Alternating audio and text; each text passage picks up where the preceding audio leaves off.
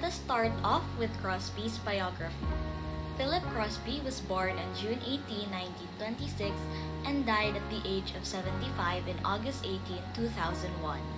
Crosby was born in Wheeling, West Virginia, with his family, David Crosby, his brother, and his parents, Mary and Dr. Edward Crosby, who was a podiatrist, a medical specialist who helped with issues regarding the feet or lower legs. Moving on to his education and career. Philip Crosby was a graduate of Triadelphia High in 1944. He also served in the Navy both times during World War II, where he was a hospital corpsman, and in the Korean War as a Marine Medical Corpsman. In between serving in the Navy, he graduated from Ohio College of Podiatric Medicine and went on to work as a podiatrist with his father. However, Crosby realized that pediatrics was not his preferred field.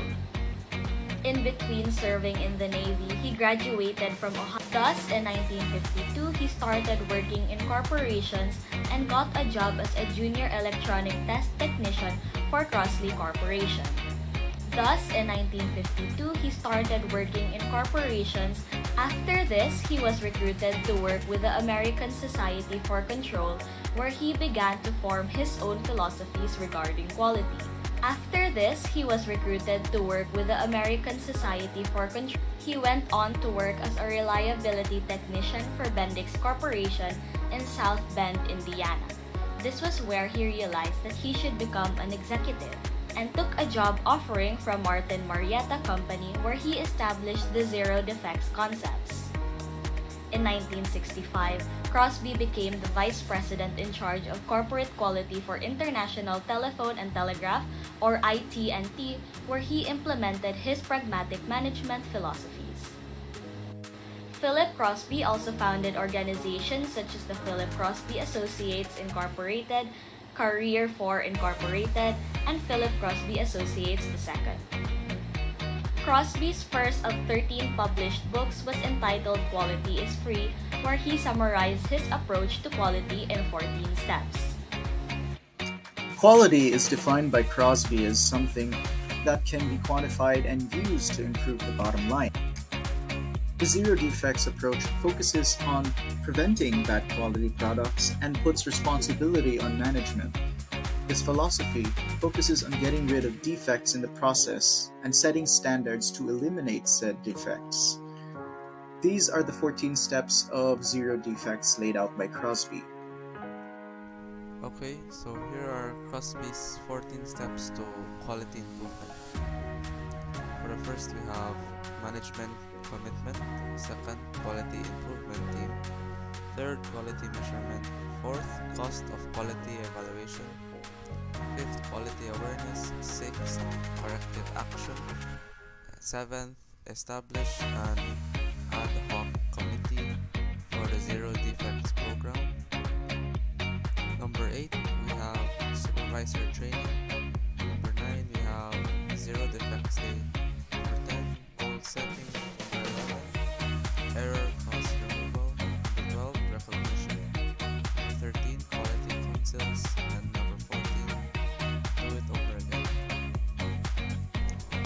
Let us now have the quality practices impacted by the contribution of Philip Crosby.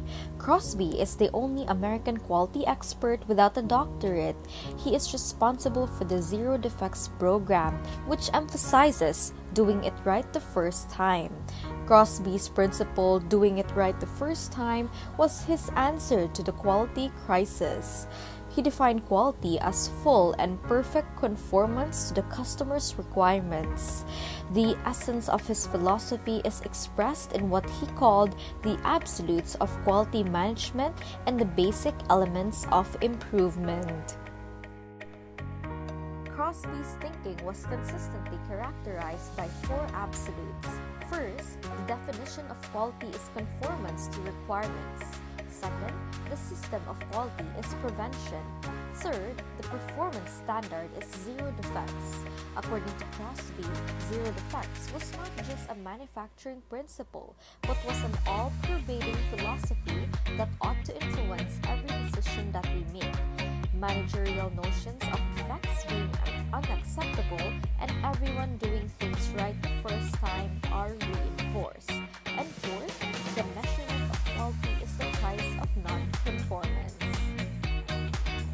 A quality quote by Phil Crosby is that quality is free. It's not a gift, but it's free.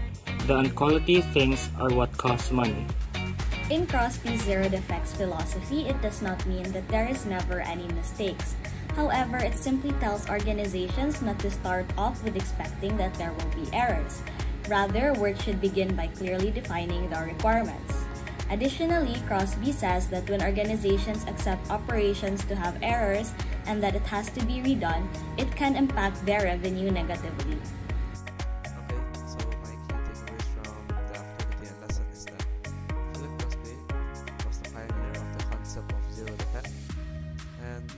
Stated quality is free, he I understood it as he meant that every company must aim to get things right the first time to avoid costly mistakes, and the third one was he created 14 steps and the 14th being that quality improvement is a continuous process meaning there is never an ending to this. It's a continuous routine. For me, Philip Crosby's zero defects policy can also be applied in real life. It will be challenging, but the results don't lie. Finding the cause of defects, or in other words, making mistakes, is the first step in correcting future mistakes instead of um, not minding and making more mistakes. Quality measurement, recognition, goal setting, commitment, and improvement are steps that I find very relatable in quality management. My key takeaway on learning about Philip Crosby's theories on quality is that if something is done right the first time, it is done perfectly every time, and no time and money is wasted correcting errors caused by doing it too fast or without controlling quality. Quality of conformance is the ability of a product, service, or process to meet its design specifications. Design specifications are an interpretation of what the customer needs.